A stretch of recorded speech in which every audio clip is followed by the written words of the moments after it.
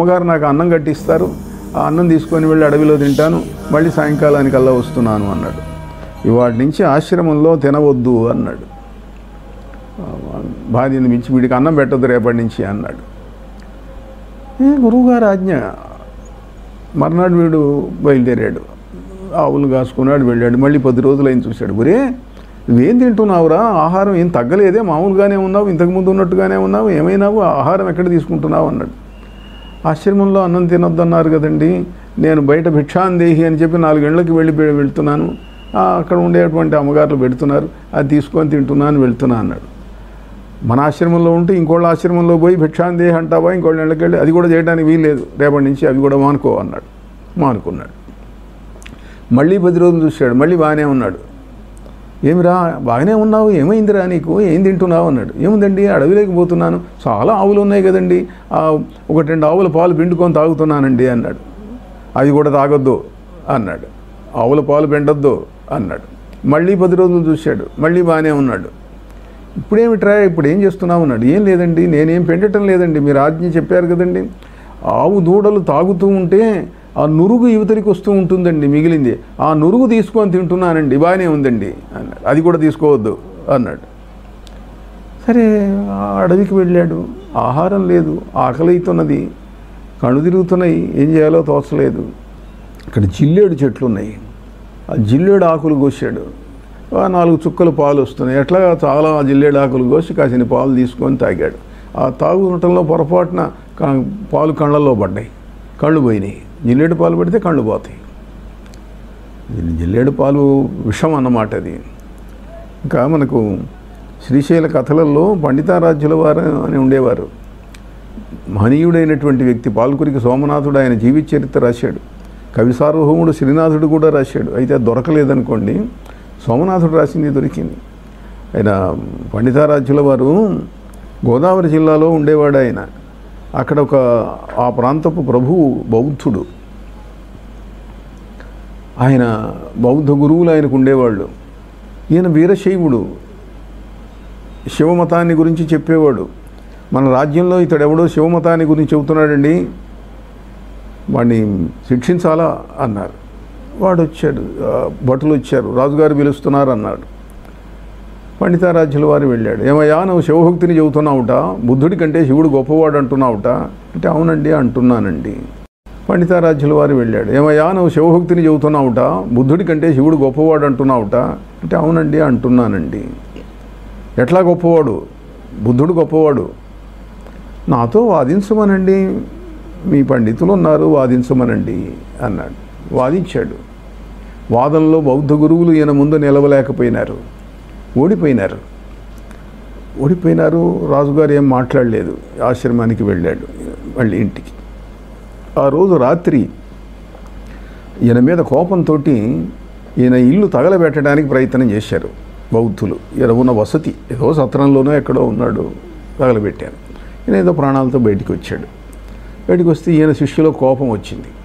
కోపం వచ్చి దీనికి అంతటికీ మూలకారకుడు రాజగురువు అయినటువంటి బౌద్ధాచార్యుడు అని చెప్పి ఆ బౌద్ధాచార్యుడిని చంపేశారు. మర్నాడు హత్యానేరం పండితారాధ్యుల వారు హత్య చేయించాడు.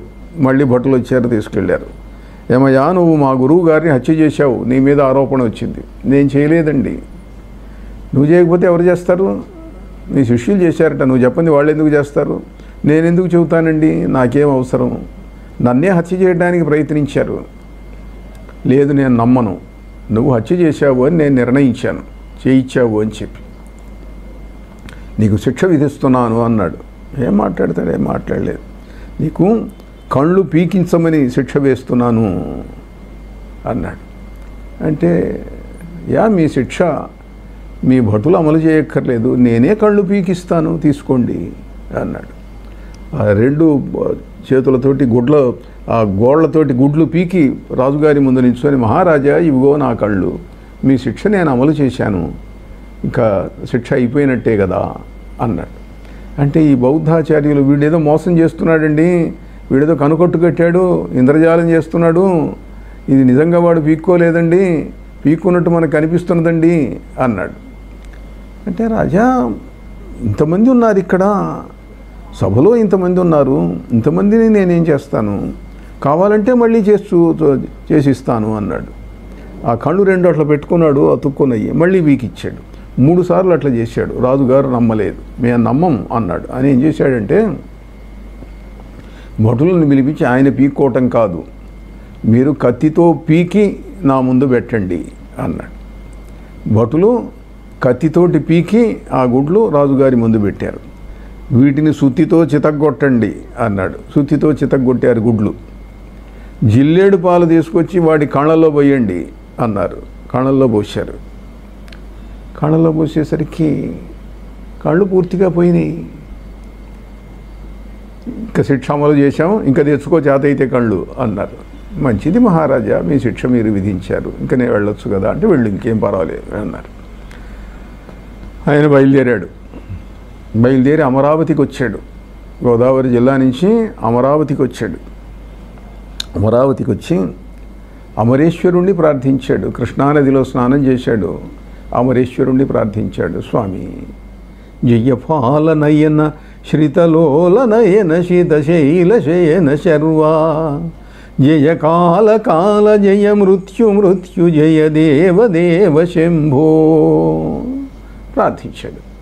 కళ్ళు వచ్చినాయి అమరేశ్వరుడు మహిమాన్వితుడైనటువంటి వ్యక్తి పండితారాధ్యుల వారికి కళ్ళు ప్రసాదించినటువంటి వ్యక్తి ఆయన.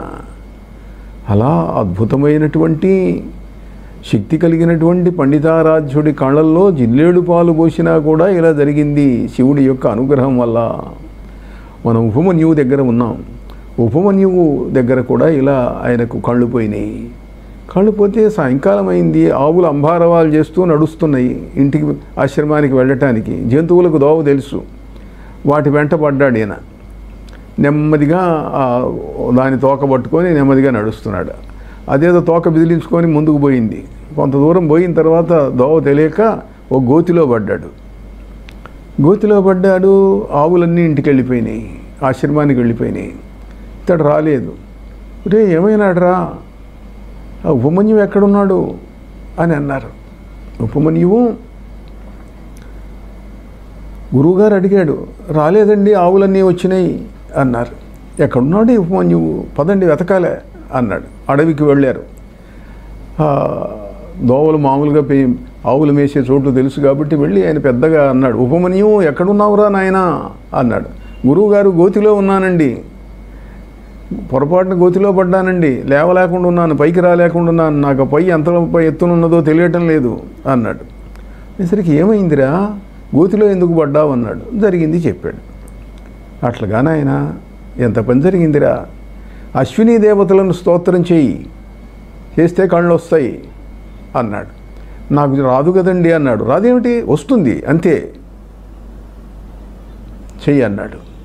గురువుగారి మాట ఆయన తపస్సంపన్నుడు ఆయన అనుగ్రహం వల్ల అతడి నోటి వెంట మంత్రాలు రావటం మొదలుపెట్టినాయి. అద్భుతమైనటువంటి అశ్వినీ దేవతల యొక్క రుక్కులు ఉపమన్యుడి నోటి వెంట వచ్చినాయి. ఆ ఉపమన్యుడు నోటి వెంట వచ్చినటువంటి ఆ రుక్కులు ఒకటి రెండు చూడండి. ప్రపూర్వగౌ పూర్వజౌ చిత్రభాను గిరావాశంసావి తపసాఖ్యనంతౌ దివ్యౌ సుపర్ణౌ వరజౌ విమానౌ విమానావధిక్షిపంతౌ భువనాని విశ్వా.